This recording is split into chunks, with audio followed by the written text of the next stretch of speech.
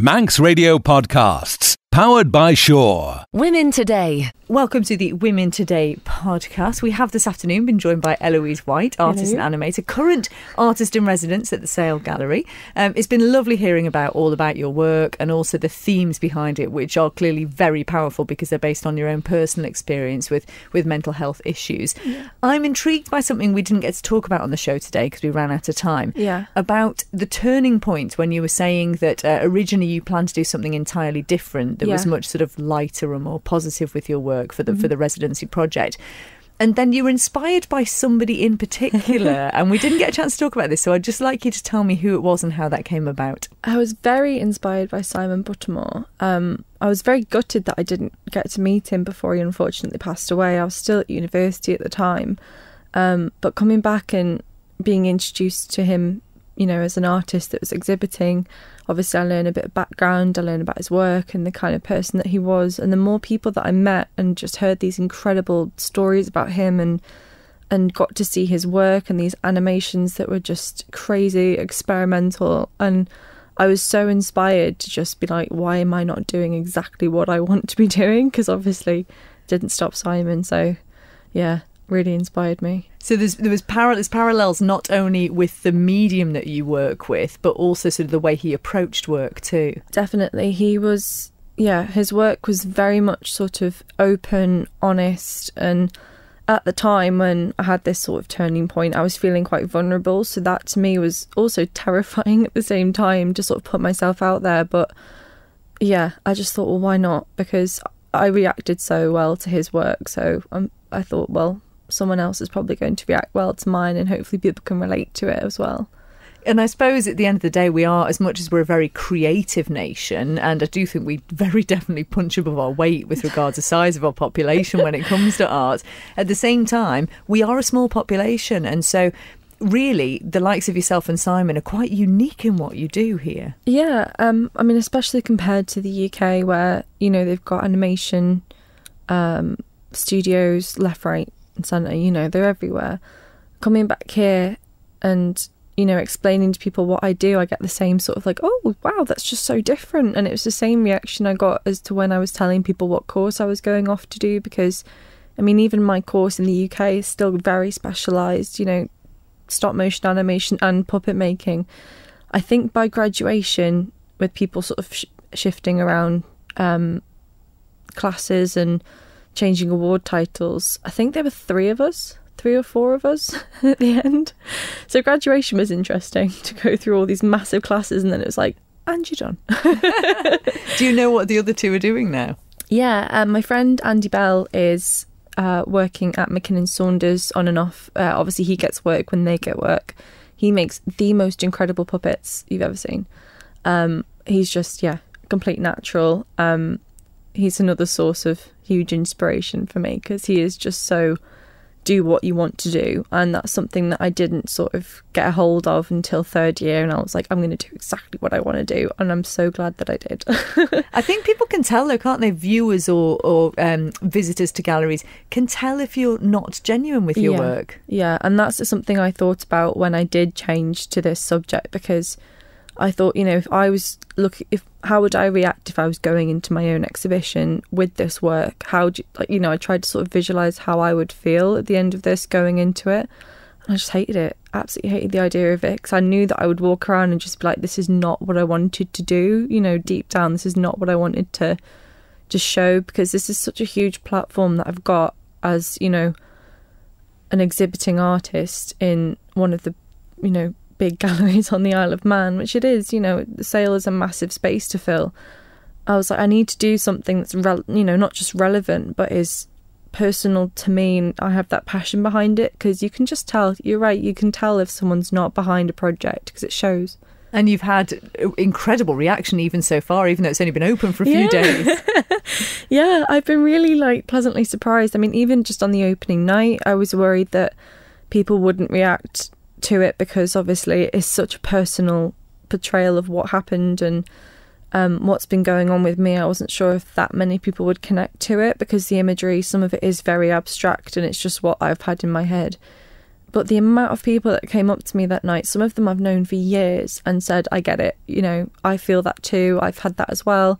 And it was so nice. And that's exactly, you know, I was saying in, in the show before, I wanted to have a more relaxed atmosphere because I wanted to open up that conversation flow because that's what we should be talking about is, you know, these issues. And even if I have to prompt people with paintings, you know, and not sit everyone down on a panel, it's still a conversation that's happening and it's still just normalizing this quite you know touchy subject and you use it's not just we mentioned obviously you do animation you've got film going on there you've got the puppets mm-hmm. but you will have a variety of mediums on the go yeah. don't you just talk us through what people are likely to find in the exhibition we've got all sorts i mean that comes with animation is you've got you know things like pre-production you've got drawing you've got sculptures you've got maquettes which are basically sort of mock-ups of what the puppets or the sets might look like You've got concept art, which comes into, you know, my past work with illustration. You've got all the films I've done, well, the best ones I've done at uni, because some of them were just awful. um, you know, little experiments. But, you, you, know, you need those to see that the good it's stuff's a good. process. Yeah. so, yeah, I've got a selection of about six or seven short films, um, as well as my main film, uh, Happy Medium, which is playing down the far end in this lovely cinema space that the coordinators so graciously built for me. Um, and as well as that, you've got puppets, you've got concept art, designs, uh, sculptures, paintings, collage. So yeah, I mean, I like that. I like to try all different things. I wanted to show, you know, the variety. And obviously, people can buy your work as well, which is a new thing for you yeah. in itself. Very exciting.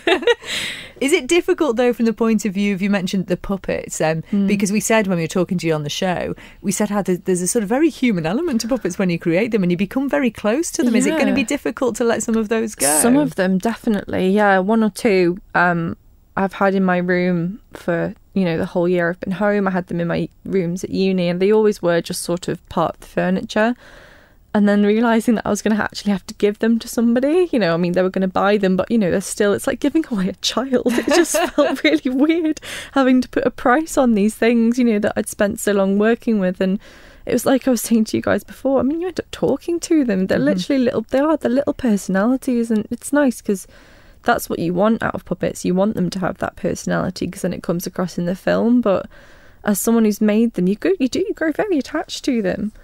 So, what do you think you will be doing next? Then, is there a chance? I know you mentioned going back to university. Mm-hmm. Is there a chance that you'd want to get into the world of, of sort of feature film as such? Because there do seem to be it went. It seems to have gone through this period of in, initially with the likes of Aardman and, and yeah. Tim Tim Burton, the idea of stop frame very very popular, and then oh, yeah. it sort of went massively into CGI. But it seems now like there's a few real stalwarts who are coming back and saying, yeah. no, no, no, we want to do things traditionally. Oh, so massively. is there opportunity there? Well, I mean, you just have to look at something like the Clangers. You know, they've redone the Clangers. They had all the opportunity to do what they did to Bob the Builder, which I'm sorry was absolutely horrific um, which was to turn it CGI. That is the easier, cost effective thing to do, but you would lose so much character. I mean, you see Bob the Builder now, it's terrifying. Mm-hmm. He's absolutely terrifying. And, you know, he's got none of the charm that you get from these little figures. It's like Pingu, you know, you can't imagine Pingu in, in CGI. It just does not work the same. So I think I would love to work on a feature, absolutely. But I don't know, I'm very, it's awful to say I'm really particular because I mean, something like Laika, I admire them intensely because they are so incredible at what they do. But they start to bring in CGI and the stop motion becomes so smooth that you start to lose that sort of it becomes almost like a grey area like where does the stop motion end and the CGI begins? And that's what I don't like. I want mm. it to look handmade because that's what I love you know the old Bad Bagpuss films. Oh I love you know um, the TV show. And it was just so had so much character behind it because you knew that there was someone moving the figures and like the old Ray Harryhausen films, you know, they were made with like the lowest technology that they had. And it looks incredible because you know just how much work's gone into it, you know, with the handmade elements of it. I mean, I tried CGI and I have the utmost respect for people who can do it because it is so difficult to get a hang of CGI especially if you've been working with sort of physical, you know, paints or mm-hmm. characters or plasticine. But I just don't. It's just not the same for me. It really isn't. It's wonderful when even on, on some of the Aardman uh, frames, if you stop framing them, you can almost see fingerprints, can't you? Yes. And, so, and you can see the way they sort of manipulated the Yeah. expressions I on love the those faces. thumbprints. and- yeah. I love them.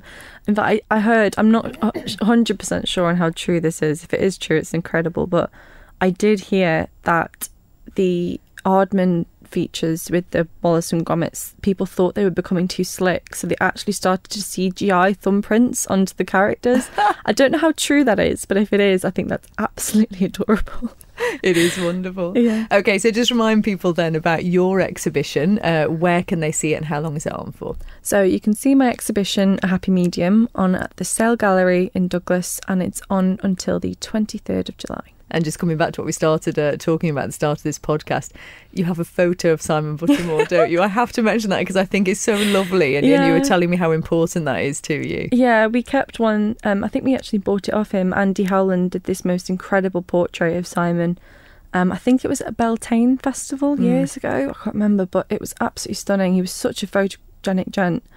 And we've kept that up in the office just because it is such a friendly face to see. And, you know, he was such a huge part of the gallery before he passed away. Um, and I actually kept one of the emails that we printed off, which because we just basically wanted to show all these different parts of how he was related to the gallery and his artwork and his life. And he actually applied. I don't know if it was if he formally applied or if he just inquired about it. The position of artist in residence, and in it he he says about how he wants to bring animation into the gallery and he wants to do stop motion and show the public how it's done and you know bring all these crazy films in and it was such an inspiring little email that I've just sort of kept it next to my desk so that if I'm ever feeling a bit sort of low on morale or motivation I've always got that there because he was just so passionate about it it's really inspiring Eloise, thank you so much for talking thank to you us today. Christy Women today. Don't sit in the slow lane. Join the fast lane right now with Sure's all new Superfast Plus broadband. Enjoy more bandwidth, amazing speeds, and the best value on the island from just £23.95 per month. So don't be left behind. Get a piece of the high speed action with Superfast Plus broadband from Sure. For details, visit our stores in Douglas, Ramsey, and Port Erin, or click sure.com. Love being Sure. Terms and conditions apply.